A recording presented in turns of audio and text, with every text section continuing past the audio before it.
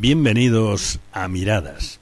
Seguimos avanzando por el Salmo 69, escrito por David, que nos deja un largo y sentido ruego en una situación angustiosa. Leeremos unos cuantos versículos, como cada día, para después comentarlos. Después de describir los crueles ataques de sus enemigos, David pide con gran intensidad la ayuda de Dios en los versículos 13 al 21 del Salmo 69, que dicen así, Pero yo a ti oraba, oh Jehová, al tiempo de tu buena voluntad. Oh Dios, por la abundancia de tu misericordia, por la verdad de tu salvación, escúchame. Sácame del lodo y no sea yo sumergido sea yo libertado de los que me aborrecen y de lo profundo de las aguas. No me anegue la corriente de las aguas, ni me trague el abismo, ni el pozo cierre sobre mí su boca.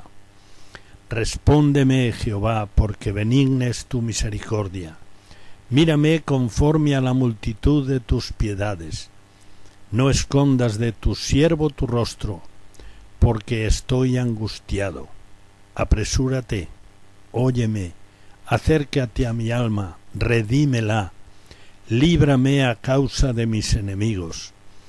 Tú sabes mi afrenta, mi confusión y mi oprobio. Delante de ti están todos mis adversarios. El escarnio ha quebrantado mi corazón y estoy acongojado. Esperé quien se compadeciese de mí y no lo hubo y consoladores y ninguno hallé.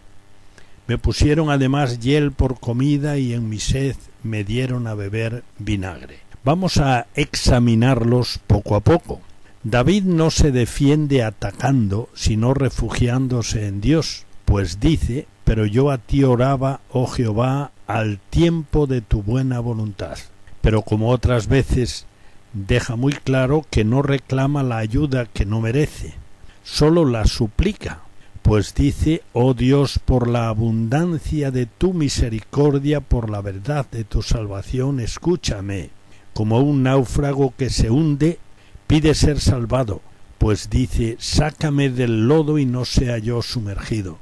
Sea yo libertado de los que me aborrecen y de lo profundo de las aguas.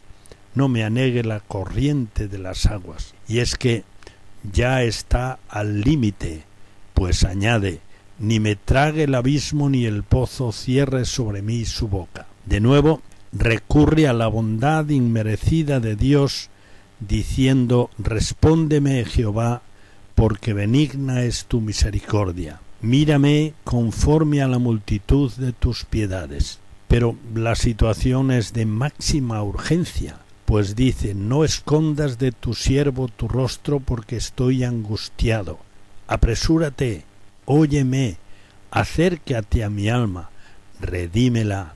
David sabe que Dios conoce muy bien lo que le pasa, pero se lo dice con estas palabras Líbrame a causa de mis enemigos. Tú sabes mi afrenta, mi confusión y mi oprobio. Delante de ti están todos mis adversarios. Reconoce además el salmista que está derrumbado con estas palabras. El escarnio ha quebrantado mi corazón y estoy acongojado, porque sólo le queda Dios, nadie más. Lo confiesa así.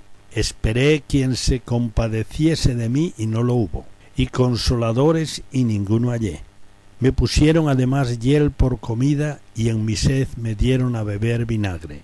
Estos versículos nos dejan una lección preciosa. La ayuda de Dios es la única segura, pero nadie la merece. Es pura misericordia. Bendito sea Dios. Hasta una próxima mirada. Dios te bendiga.